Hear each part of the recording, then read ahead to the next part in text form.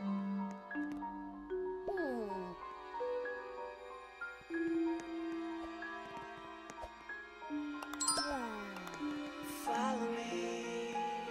Hmm. Stay.